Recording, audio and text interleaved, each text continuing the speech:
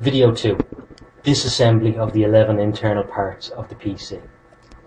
Now, first thing we're going to take apart, number one, the cooling fan assembly. So first of all, before we take it apart, I'm just going to disconnect its power cable. The small little cable here requires a pinch and it removes. So just a pinch with your thumb there. Secondly, there are a couple of sliders here. If you can see them, I'm going to pull this that way. It's free to come out. That's the cooling fan assembly. Number two, the power supply. The silver box up here. We're going to need a Phillips screwdriver. There's two screws that need to be disconnected.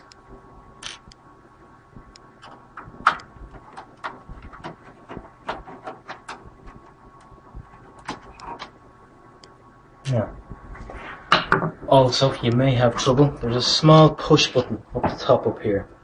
Push that, the power supply will release. Now you'll notice that the power supply is pretty much plugged into every other component. So you have to go along and disconnect each one. Most of them pull straight out.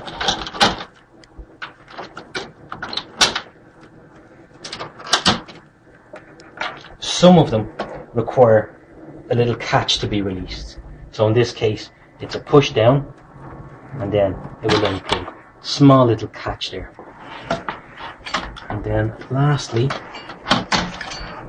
one down here again with the push catch that needs to be pressed and then released. So you can see that there needs to be pressed and released. That's the power supply. Now, number three, the heatsink.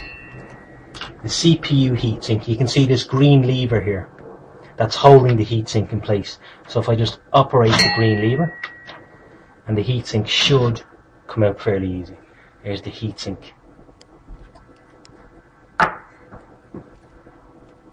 Number four is the CPU itself.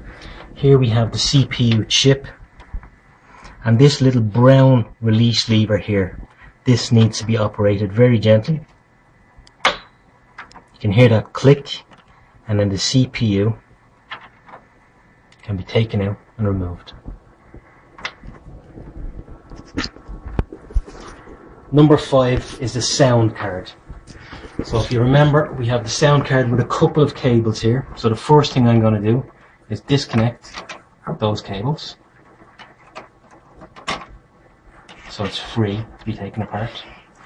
Next, you can see this green bar here. That's holding the cards, all the adapter cards in place. So this needs to be pressed down and then dropped. And that will release the cards, enable them to be taken apart. So the sound card, gently, just a little pull, and out it comes. There's the sound card. Now, number six is the video card here.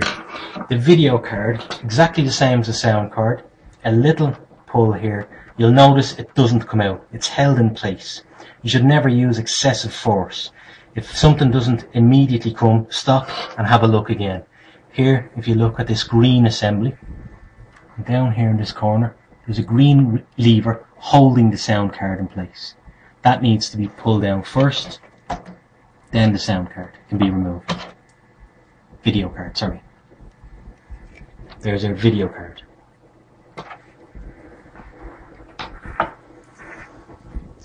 Next, we have our two RAM modules, which are number seven, our RAM modules.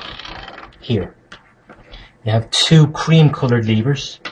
Press down, press down, and the RAM module is released. We have another one here, so that's press down, press down, and released. And there's our two RAM modules. Number 8, our DVD player. In this case, we've already removed our power cable when we took out the power supply. So we have one small cable here, that transmits our sound to our sound card. And we have our data cable here. So we have a tab of orange here that we pull and release that cable. That cable has a small indentation. It means it can only go back in one direction.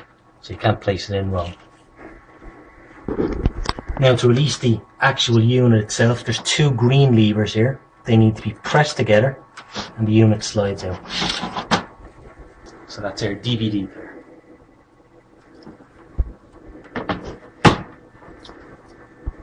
Number nine, our floppy drive. Again, we've already taken the power supply out, so we just need to remove our data cable. This black plastic tab, you pull on it, it comes out. Again, exactly the same as our DVD player. Pinch those,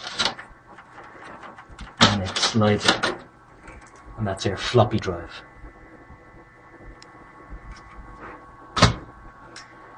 Number 10 is our hard drive.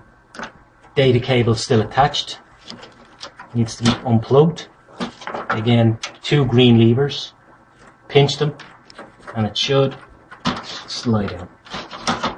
And that's our hard drive. And number 11, our motherboard. If you were to take out the motherboard, you'd need to disconnect all of the other ends of the cables. Here you can see our motherboard. If you were to take this apart, I'm not going to do it here. We have a couple of fixing screws. There are a couple of grounding points and it's held onto the back plate fairly securely so you need to be extra careful when you're taking that apart. I'm not going to take it out in this case um, because what I'm going to do now is reassemble the PC.